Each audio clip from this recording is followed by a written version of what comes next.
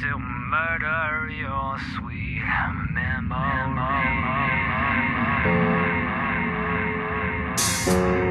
I told you so.